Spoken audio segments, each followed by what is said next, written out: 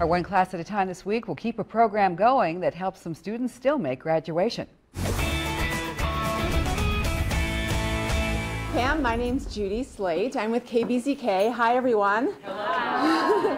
and we have a surprise for you today. I don't know if you've heard about our One Class at a Time program, but your teacher applied for the summer program and she has been awarded some money. So I'm going to hand, I'm going to slide right over here. We're going to just switch places for a second.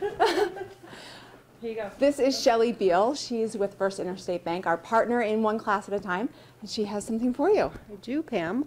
On behalf of KBZK and First Interstate Bank, we'd like to present, present you with this check for $250 to uh, put some funds in your summer scholarship program that you're doing. Thank you. Very Congratulations.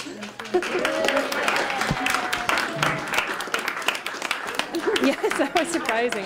All right, so um, so what does this the $250 mean for the program? So the $250 for the summer credit re recovery program um, means that we'll be financially sound. We can offer this program every summer without having to depend on you know where funding is coming from each year.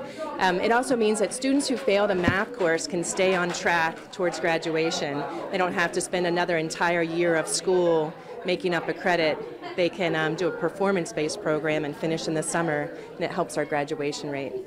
Students who might not be able to afford the program can attend, and that's key. Five or six students often have to bow out because of the fee for the program, and now they can come to the program and stay on track for graduation. She's a kind, compassionate teacher who I feel like really cares about each and every student as an individual, and she wants us to succeed in life, which is extremely important. Um, she gives us homework that is manageable and doable, but also challenge us, out challenges each and every one of us. So she's amazing. We make it as simple as possible for you to nominate a teacher or classroom. See the address or find the link on our website.